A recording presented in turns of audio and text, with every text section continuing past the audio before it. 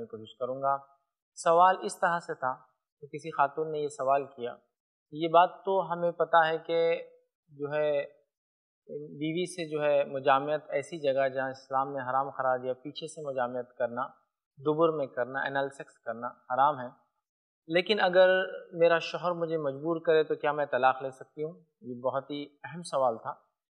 تو یاد رکھیے اس معاملے میں جو فتوے ہمیں ملتے ہیں کہ اگر ایک بیوی اس عمل سے اپنے آپ کو روکتی ہے چونکہ شریعت میں یہ عمل حرام ہے، لیکن اگر اس کا شوہر اس کو مجبور کرتا ہے کہ وہ یہ عمل کرے اور اس کے ساتھ یہ عمل کر رہا ہے، تو علماء لکھتے ہیں کہ پہلے تو اگر وہ ایک آدھ بار ہو جائے یا وہ زبردستی کر لے تو بیوی انتظار کرے اور شوہر کو نصیحت کرے، اس کو توبہ کرنے کا حکم دے۔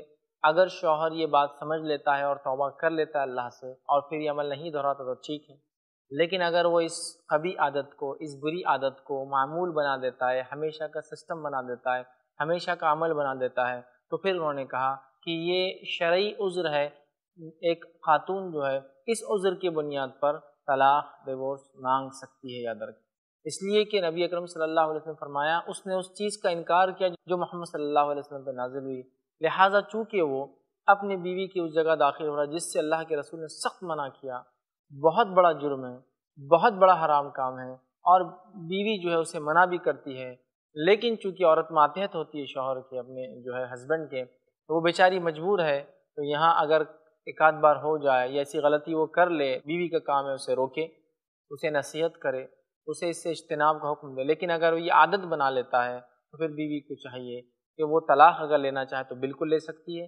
نصیحت کرے، واز کرے، توبہ کرنے لگائے، بات بتائے، لیکن اگر وہ نہیں سمجھتا اور یہ معمول بنا لیتا ہے تو فتح موجود ہے کہ اس گراؤنڈس پر، اس عمل کی وجہ سے، اس عمل کو بنیاد بنا کر وہ خاتون طلاق بھی لے سکتی ہے، کیونکہ یہ بہت ہی بدترین گناہ ہے اور یہ بہت ہی بری اور قبی جس کو کہتے ہیں، بری عادت ہے اور یہ فسق اور فجور ہے، یہ گناہ کے کام ہیں۔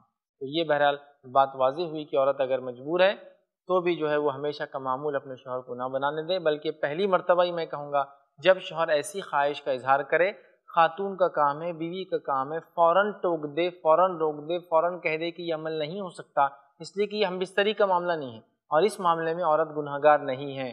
بہت سی مرتبہ آدمی جب یہ خواہشات کو، اس خبی عمل کو پورا کرنا چاہتے ہیں، تو عورتوں کو سائیکلوجیکلی یا بلیک میل کرتے عام زبان میں کہوں تو۔ کہ شوہر اگر بلائے تو حدیث میں آنا ضروری ہے، شوہر آپ بلائے تو منع کریں گے تو گناہ گار ہوں گی۔ وہ سب شوہر کے لیے جب وہ جائز کام کے لیے بلائے، لیکن اگر شوہر حرام کام کے لیے بلاتا ہے، لیکن اگر شوہر اس برے فعل کے لیے بلاتا ہے، تو یاد رکھیے آپ کو اس کی اطاعت کرنا ضروری نہیں ہے، لیکن وہ مجبور کر دیتا ہے یا اچانک اس عمل کے شروع کرنے کے بعد اچانک وہ ایسا کچھ عمل کرتا ہے جس کی وجہ سے بیوی مجبور ہو جاتی ہے اور وہ کچھ نہیں کر سکتی ہے۔ تو پھر اسے چاہیے نصیحت کرے، بعد میں واز کرے، لیکن اگر وہ نہ مانے تو یہ گراؤنڈس کے اوپر، اس برے عمل کی بنیاد پر وہ چاہے تو طلاق بھی بہرحال اس شوہر سے لے سکتی ہے۔ مردوں سے گزارش کروں گا، اس قبی فعل کو، اسلام ایک پاکیزہ دین ہے۔ اس نے نکاح کی اجازت دی، آپ کو نکاح کا حکم دیا، نکاح کا طریقہ سکھایا، پھر اس کے بعد اتنے برے عمل میں اتنے گندے کام کے لیے